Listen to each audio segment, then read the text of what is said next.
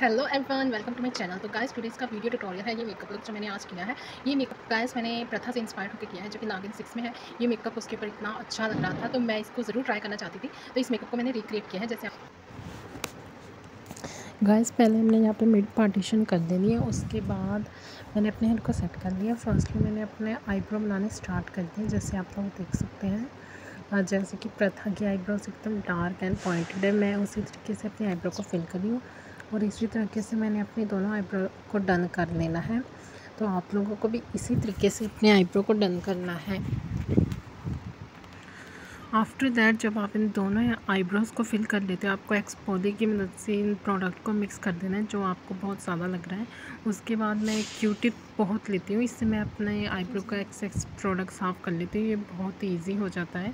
तो उसके बाद मैंने कंसील किया अपनी आईब्रो और आईज़ को।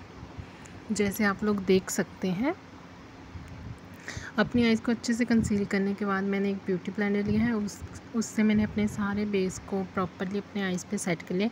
इसके बाद मैं लूज़ पाउडर लूँगी और उससे अपने सारे बेस को सेट कर लूँगी, जिससे आई शेडो लगाऊँगी तो इसका फॉल नहीं होगा।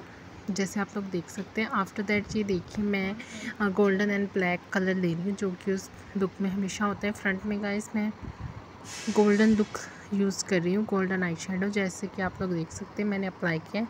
इसके बाद जो इसकी एंडिंग है, मैंने एक एंगल ब्रश लिया, उसके साथ मैंने टेल सी बनाई है और मैंने अपने आइज़ को शेप देना स्टार्ट कर दिया है ब्लेंडिंग ब्रश पे डार्क कलर ब्लैक लेके।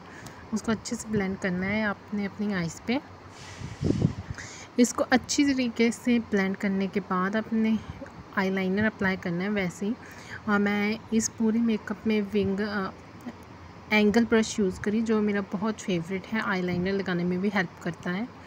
तो ये आपकी शेप को एक डेफिनेशन दे देता है तो इसीलिए मैं इसको बहुत ज़्यादा यूज़ करती हूँ। अपने सेम दूसरी आइस पे भी ऐसा करना है, और अपने आई लैशेज़ के नीचे में हल्का सा ब्लैक कलर अप्लाई करना है, उसके बाद आपने हाईलाइटर अप्लाई कर लेना है अपने बोन एरियाज़ पर। उसके बाद गाइस अपने, मैंने अपनी स्किन पहले से प्रिपेयर की हुई थी तो मैं अपने फेस पे मॉइस्चराइज़र लगा रही हूँ।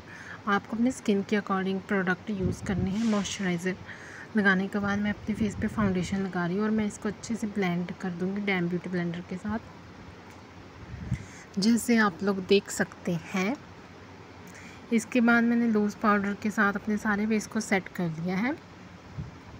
अपने सारे बेस को आप सेट करने के लिए कोई भी प्रोडक्ट यूज़ कर सकते गाइस, इसमें मैंने अपने ब्रश पर क्रीम क्रीम कॉन्टोर को लगाया था और मैंने ये एक्सपेरिमेंट किया था।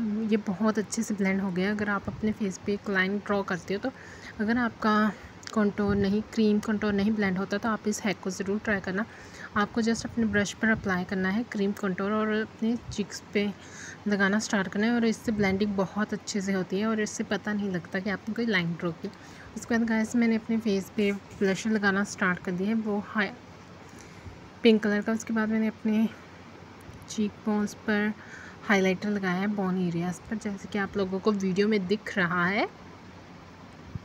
इसके बाद गाइस हमने अपने लिप्स को शेप देना है। अगर आपके पास लिप लाइनर नहीं है तो आप इस तरह के ब्रश का लिपर ब्रश का यूज़ कर सकते हैं। It is a very helpful for everyone मैं इसी को ज़्यादातर यूज़ करती हूँ, जब मेरे पास सेम कलर का लिप लाइनर नहीं होता तो इससे आपके फेस को लिप्स को अच्छे से शेप मिल जाती है और आइडेंटिफाई हो जाता है। तो अपने लिप्स को ऐसे शेप देने के बाद आपने इस पर लिपस्टिक फिल कर देने।